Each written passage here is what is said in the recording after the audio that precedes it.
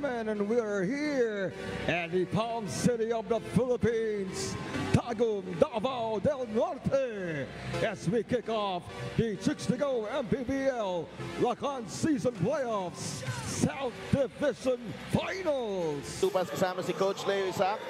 And of course, Sheila Salaysay at courtside. Magandang gabi po, mga kaliga. Thank you for uh, staying with us as we begin our South Division Finals. Japs Bautista, quick trigger. Mintis agad.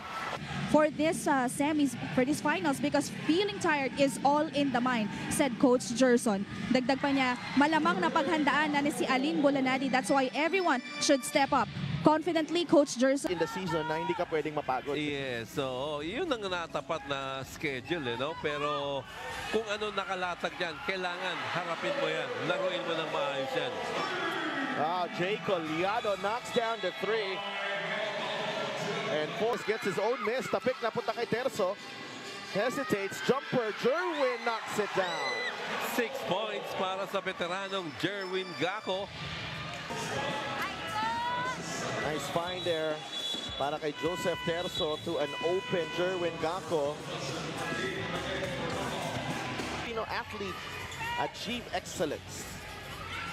Dagangon shakes off the D and puts it in. Yes, ito ang player, no? Na medyo nawawala ang kanya. On uh, brand new five on the floor.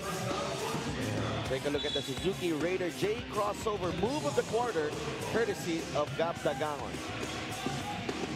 Natawagan ng foul. Ano? A lot of contact and no whistle. Contact, pero wala nga tawag.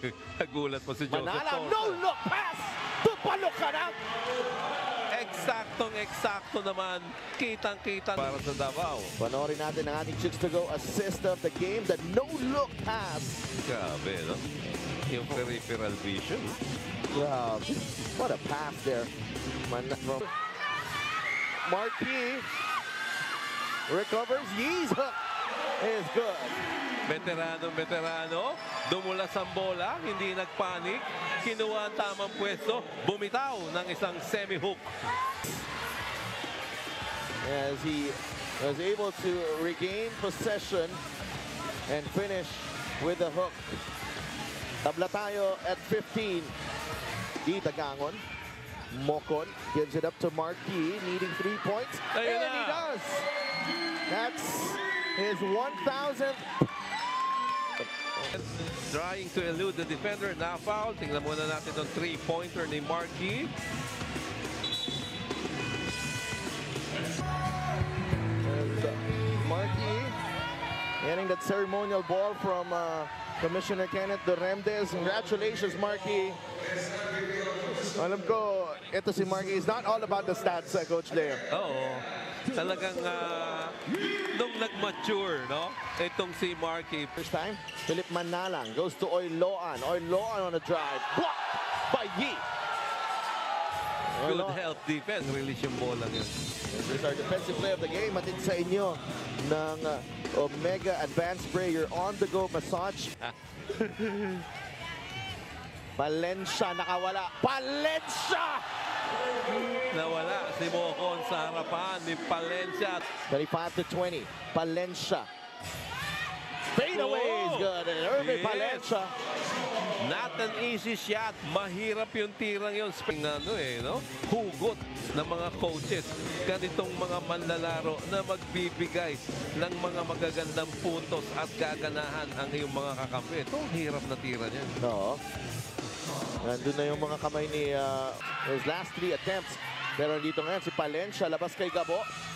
Colliado nakapwesto sa ilalim and Jay Colliado has nine points. Good seal by Collado against Markey. Good entry pass by Hesed Gab. Chicks to go assist of the game. The two point guards combining there and Gabo able to spot Jay Colliado. And that even though Alin Bulanadi has yet to find his stride, may mga capable scorers. Uh, just like this guy, Billy Robles. Billy Robles, no? Nabanggit natin at the top of the coverage. More of a complete, complete as he uh, continues to play well para dito sa Davao Occidental Tigers. We have a close game here in the first half. A minute and 39 remaining. Stoger inside. It's a turnover. Bolanadi is away. Binomba pa. Pasok pa rin. Grabe, natin, natin. The fast break of the game atid sa inyo ng Omega Advanced Spray. Nakapagilid na siya eh. And Eman Calo, there's a there's some contact there. Pwede Yes, pa tawagin. Robles, umatake, nahanap si Gako. Nice fake! Oh! Mintis! Gako again! Yes! Jerwin Pinaganda Gako! lang. Oo. Yan ang Jerwin Gako. Sablay ang una, bumalik ang bola sa kanya, and one to go Chibug of the game. Jerwin Gako just relentless inside. Drawing contact. All while falling down. But, tira na eh. oh, at least a three-on-one break. Wala natin. No look. Sobringas. Yes, no? Tingnan mo yung ano, tingin. No? Tingin ni Marky kay Eman Calo. Watch us go for goal play of the game. Bolanadi, no look pass to Tonton Bringas. leader of the team. Mark also reminds his teammates to stick to the game. Game plan, huwag makalimot magdasal. Okay lang mag-anga sa laro pero hanggat wala pang final buzzer, hindi pa tapos ang laban. Sa Delphin, Coach Leo. Maraming salamat, Sheila. And as if on cue, uh, break this down. Yes, no? Post move against Tonton Bringas. Two bumps, then the spin going baseline. Hindi na nakasabay itong si Tonton Bringas. Kung may iniinda ka, hindi mo magagawa yung move na yon. Tingin ko, nakakabalik na itong si Marky. Page watching as game one of the South Division Finals. Daa. Hinanap si Bobby Pay. Oh, wow. Yes. Both Insin- teams imposing their will, Coach. Inabot, umangat si Bobby P. Wala nang nakasabay. Ilan niya? Apat ang nakadepensa. Uh, Bobby Balukana with that rebound. Manalang rushing. Balukana glaze it in and the foul. Yes, Bobby B on that layup. Sumabit pa. This is Philip Manalang uh, to Bobby Balucanag for our Suzuki Raider J crossover move of the quarter. And Bobby B scoring over Marquis. Labas dila agad. Balucanag. Yes, no? Senator Manny Pacquiao galing din San Juan nanood. Kasama si Congressman Dong Gonzales. Oo. As Balucanag unable to complete the three-point play. And Balucanag and Yi still there. Bolanadi. Basket is good and one. And again, no? The pinpoint passing of Hesed Gabo. Alam niya umiiktad na itong si Bulanati. Forward pass, eksakto ang pasa, eksakto ang tanggap, and one situation para kay Bulanati. A hard foul given up by Jerwin Gako. Suzuki Raider J Cross over move of the quarter. Alin Bolanadi. Express delivery galing kay Hesed. Bulanati umiiktad ka agad yan. Bolanadi unable to complete the three-point play pero lamang ang basay. They get the switch. Dagangon on Yi. Dagangon using the left hand. Oh, grabe naman yung tira na yun ni Gab Dagangon. Nilipat ang bola sa kaliwa. Iniwas pa sa depensa. Silan here, Coach Leo. Totoo, ito nga yung sinasabi natin, no?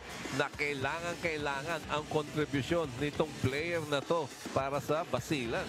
And that's our Suzuki Raider J crossover daring shot of the game. Gab Dagangon with some hang time. Custodio nakabantay. Four-point lead for Basilan. Bolanadi Oy. to Dumapik. Offensive Oh. foul at matatawagan pa ng technical si Chris Kanina, Dumapig. kanina pa siya mainit. Uh, Coach Leo, kanina, nagkagirian sila ni Jerwin Gako. Lumayo na lang si Jerwin Yes. Gako. Oo. Yun lang. Fouled out pa siya. Oo. Pag nakaupo ka na sa bangko, wala ka na maitutulong sa team mo.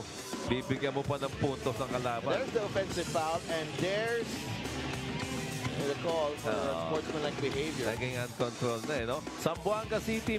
Sa Davao ang bola. Yi to Custodio. Seven seconds to shoot. Bonbon. Off the glass and in. Oo, paborito ni Bonbon yan. One dribble, pull up, pabandang tira pa. Para kay Bonbon Custodio. including this bank shot. Specialty of the house para kay Bonbon.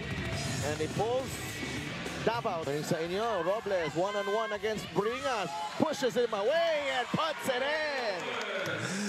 16 points for Billy Robles. Alangan na alangan eh. Tingnan mo natin itong move, no? Billy Robles. Ganda. Mocon staying in front of Bolanadi. Bringas na libre. One-hander is good. Yan ang sinasabi ko. Minsan-minsan bitawan mo yan. By Alin Bolanadi dito. Oo, huwag mong pilitin. Hanapin mo yung kasama mong libre. Basic na basic yan. And uh, Tonton Bringas, ex Robles. 10 seconds, 8 seconds. Robles, ball pa lang inabot kay Colado. And Alin Bulanade is fouled.